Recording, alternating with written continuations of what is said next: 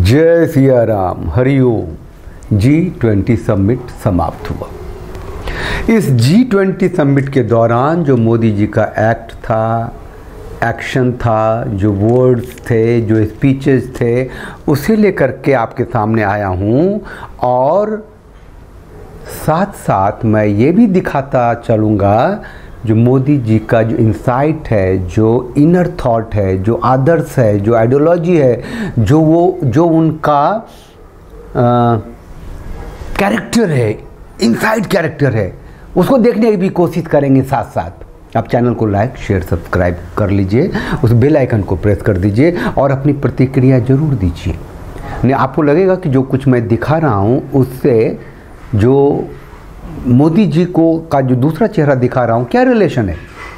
अब रिलेशन खुद ही तय कीजिए ना, क्योंकि किसी काल विशेष खंड में मोदी जी ने ऐसा कहा और आज मोदी जी ऐसा कर रहे हैं। तो चलिए शुरू करते हैं। कोविड 19 के बाद विश्व में एक बहुत बड़ा संकट विश्वास के अभाव का आया है। युद्ध ने इस ट्रस्ट डेफिसिट को और गहरा किया है। जब हम कोविड को हरा सकते हैं तो हम आपसी विश्वास पर आए, इस संकट पर भी विजय प्राप्त कर सकते हैं। अगर कोई हिंदू इस्लाम के खिलाफ है तो वो हिंदू नहीं है। अगर कोई हिंदू इस्लाम के खिलाफ है तो वो हिंदू नहीं है। कोई भी हिंदू जो इस्लाम के खिलाफ है, वो हिंदू नहीं है। मोदी जी बोल रहे हैं 2005 में बोल रहे हैं। कोई भी हिंदू जो इस्लाम के खिलाफ है, वो हिंदू नहीं है। क्यों नहीं सुनी थी ये हम सबने पहले? हम सब तक ये बाइट नहीं आई थी भाई। एक बार और सुनिए। मैं इस्लाम एक विचारधारा के खिलाफ नहीं हूँ। So you are not against Islam. Not at all और कोई भी अगर कोई हिंदू इस्लाम के खिलाफ है तो वो हिंदू नहीं है। और इस्लाम जो है वो सिर्फ़ अल्लाह की इबादत करता है। अल्लाह के सिवा जो भी है वो काफिर है काफिर वाजिब कतल है उसकी औरतें माले गनीमत है। इस समय जिस स्थान पर हम एकत्रित हैं, यहाँ से कुछ ही किलोमीटर के फासले पर लगभग ढाई हज़ार साल पुराना एक स्तंभ लगा हुआ है। इस स्तंभ पर प्राकृत भाषा में लिखा है हेवं लोकसा हित मुखेति अथ इयम नातिसु हेवम अर्थात मानवता का कल्याण और सुख सदैव सुनिश्चित किया जाए। ढाई हज़ार साल पहले भारत की भूमि ने यह संदेश पूरे विश्व को दिया था। भारत के मुसलमान भाई बहनों को भी ये समझना होगा कि कौन से राजनीतिक दल उन्हें भड़का करके उनका फ़ायदा लेने के लिए उनको बर्बाद कर हमारे जो पसमंदा मुसलमान भाई बहन हैं, उनका तो जीना भी मुश्किल करके रखा हुआ है। वो तो तबाह हो गए, उनको कोई फ़ायदा नहीं मिला है। उनके ही धर्म के एक वर्ग ने पसमंदा मुसलमानों का इतना शोषण किया है, लेकिन इसके ऊपर कभी देश में चर्चा नहीं हुई। मोदी जी पशमंदा मुसलमानों के लिए योजनाएँ बना के ला रहे हैं। पशमंदा मुसलमान की बात क्यों करते हैं वो? वो सीधा मुसलमानों की बात क्यों नहीं करते? मतलब ये डिफ्रेंशिएट क्यों किया उन्होंने? जितने भी फुट सोल्जर्स हैं जो जो भी पत्थरबाजी कर रहे हैं जो भी आगजानी कर रहे हैं जो भी अल्लाह अकबर के नारे लगा कर हत्या कर रहे हैं सरतन से जुदा कर रहे हैं वो क्या पसमंदा मुसलमान नहीं है? ये कौन कहेगा?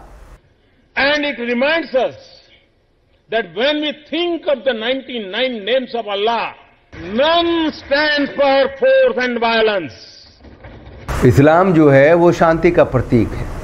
और अल्लाह के निन्यानवे नामों में से कोई भी नाम जो हिंसा का प्रतीक नहीं है, बल्कि राम और रहीम जैसे जो नाम है, वो करुणा और दया के प्रतीक हैं। मोदी जी की सुन लो, मेवात में दया चल रहा है, करुणा चल रहा है, हिंसा नहीं चल रही है, शांति चल रहा है। फ़ूड, फ्यूल और फर्टिलाइज़र का मैनेजमेंट हो, टेररिज्म और साइबर सिक्योरिटी हो, हेल्थ, एनर्जी और वाटर सिक्योरिटी हो वर्तमान के साथ ही आने वाली पीढ़ियों के लिए हमें इन चुनौतियों के ठोस समाधान की तरफ़ बढ़ना ही होगा। गौ भक्त अलग है। गौ सेवक अलग है। गौ भक्त अलग है। गौ सेवक अलग है। अरे इससे इससे ज़्यादा कोई बबल गम थूक फेंकता है? हैं? जो गोभक्त है वो गौ सेवक नहीं है गौ सेवक है वो गोभक्त नहीं है, क्या? मैंने देखा है कि कुछ लोग जो पूरी रात एंटी सोशल एक्टिविटी करते हैं, कुछ लोग। लेकिन दिन में गौरक्षक का चोला पहन लेते हैं।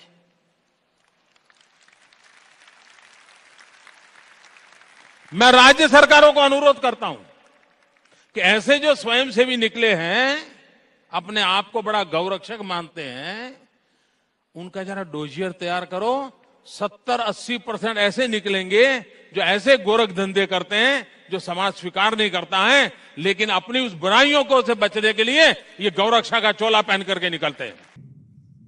फ्रेंड्स, भारत की जी ट्वेंटी प्रेसिडेंसी देश के भीतर और देश के बाहर इंक्लूजन का, सबका साथ का प्रतीक बन गई है। दिल्ली में बैठी हुई सरकार का सपना है कि हम हिंदुस्तान में पिंक रिवॉल्यूशन करेंगे और पूरे विश्व में मांस मटन का एक्सपोर्ट का बिज़नेस करेंगे। और इस वर्ष भारत सरकार ने घोषित किया है, स्वयं भारत सरकार ने घोषित किया है कि पूरे विश्व में बीफ एक्सपोर्ट में हिंदुस्तान नंबर वन है। आपका कलेजा रो रहा है कि नहीं मुझे मालूम नहीं। मेरा कलेजा चिक चिक करके पुकार रहा है। एनडीए के कार्यकाल में भी मीट एक्सपोर्ट बड़े पैमाने पर हुआ। तो उस समय आपकी सरकार ने क्यों नहीं किया कुछ? मैं देखूँगा उस समय उनके क्या प्रॉब्लम थे मैं देखूँगा। लेकिन इन दिनों स्थिति गंभीर होती गई। उस समय हो सकता है शुरू में मेरे पास डिटेल नहीं है। उस समय हो सकता है कि हमारे पास दूध न दे वाले, देने वाले पशुओं की संख्या एक्सेस हुई हो, उस पर से एक विचार बना हो। मोदी है, ज़्यादा गाय जो है ना प्लास्टिक खाने से मरती हैं, इसलिए आप गाय को प्लास्टिक खाने से बचाओ, उसको ज़िंदा रखो, जिससे कोई ज़्यादा से ज़्यादा संख्या में काटी जाए, उनका एक्सपोर्ट हो सके। इसके अलावा भी मोदी जी ने कई बातें कही हैं। समझे कि नहीं? अच्छा तुम ब्राह्मण हो, हैं? हमको दलित मानते थे और हमारी माँ को पानी नहीं भरने देते थे, और वो आदमी मतलब ऐसी कई बातें उन्होंने कही हुई हैं जो मैंने आपको भी नहीं दिखाया है। अच्छा मूर्तियों में, अब पत्थरों में क्या इनक्रेडिबल इंडिया है? ऐसी बातें कई हैं मेरे पास स्टॉक में हैं। मैंने उनके भाषण हैं, निकाल निकाल के रखे हुए हैं, इसीलिए कि जो हमारे लोग हैं, हिंदू हैं, सनातनी हैं, राष्ट्रवादी हैं, बंटवारे के बाद के भारत को हिंदू सनातनी की सत्ता वाला देश देखना चाहते हैं, उसके लिए संघर्षरत हैं, उन्हें बताता तो चलूँ कि आपने किसको वोट दिया है और दे दिया है तो आप किस तरह का प्रेशर माउंट करते हैं? क्योंकि उनको अंततः वोट तो हिंदुओं से लेना है, सनातनियों से लेना है, तभी सत्ता में रहेंगे, क्योंकि मुसलमान तो उसे वोट देने वाले नहीं है, कांग्रेसी वोट देने वाले नहीं है, जो लिबरल हिंदू हैं, वो भी वोट नहीं देंगे। वोट तो हम ही देंगे, हमारे जैसे सनातनी देंगे जो भ्रमित हैं। तो भ्रम को थोड़ा दूर करते रहें, जब उनको पता चलेगा कि लोगों का भ्रम दूर हो रहा है तो फटाफट शायद कुछ बेहतर भी कर डालें। नहीं तो कोई विकल्प निकल के आएगा, फिर देखेंगे, संघर्ष जारी रहेगा। चलिए, चैनल को लाइक कीजिए, शेयर कीजिए, सब्सक्राइब कीजिए उस बेल आइकन को प्रेस कर दीजिए, जिससे आपको नोटिफिकेशन मिलता रहेगा। तो जय सिया राम हरिओम